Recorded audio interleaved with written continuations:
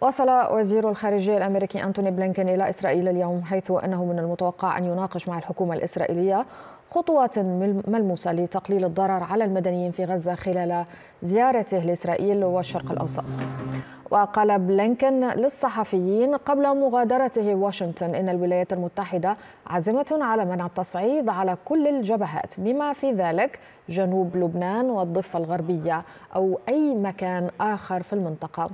مشيرا إلى تصميم الولايات المتحدة على ردع أي تصعيد.